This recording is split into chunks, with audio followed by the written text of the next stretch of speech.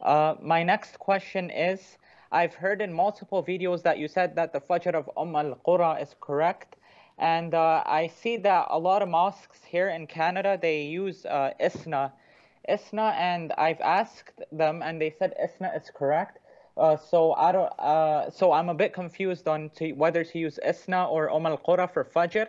However, I know Umm al Qura is inaccurate for Salat al Isha. Uh, his second question was regarding Umm al Qura uh, uh, calculation. And I said that before, that to my knowledge, to my limited knowledge, people doubted Umm al Qura calendar when it came to Fajr prayer. And Sheikh Salih al Fawzan himself went to the open for a number of nights to witness the actual Fajr breaking.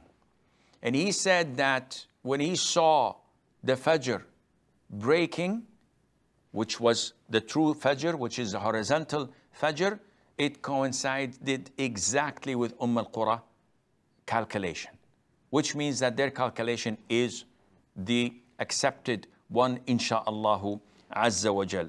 I don't know about Isna, I don't know about their calculation, but I know that this is uh, uh, from uh, Sheikh Salih Al Fawzan, and he's a trusted scholar, and Allah knows best.